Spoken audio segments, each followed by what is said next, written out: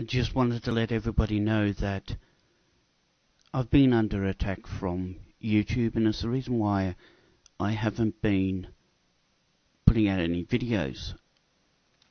And um, I've got a good one going, and I can't publish it because a copyright claim on a song that was written in 1862, if you can believe it.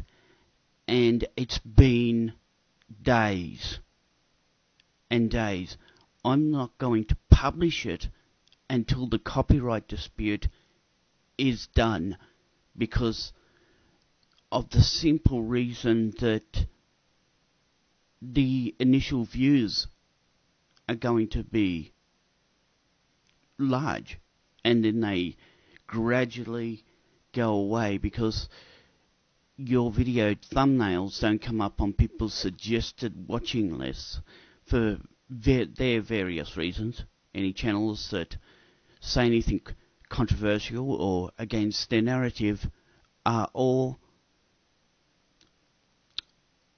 you know, suppressed by not only demonetization but by you know political leaning.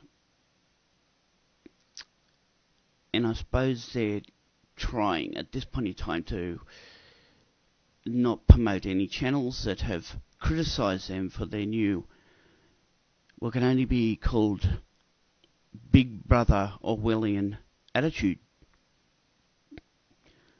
So I hope this I hope this clears everything up because it's not about the money at all.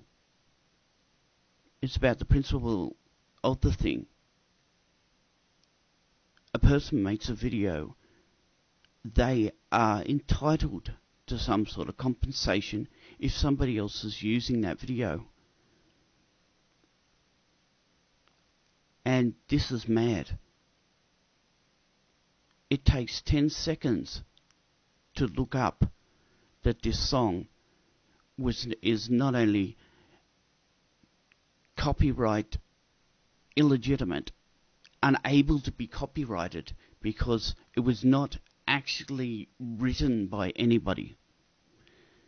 It was just a song that they started singing um, in Poland, what became very popular in Russia. And the first recordings of this was in 1905, meaning it's 10 years, 10 goddamn years before any copyright was available at all. 10 years. So I hope this clears everything up.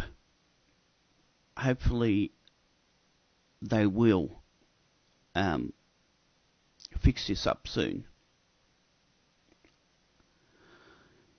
Uh, I don't want to fold, but I may have to just to keep my channel running.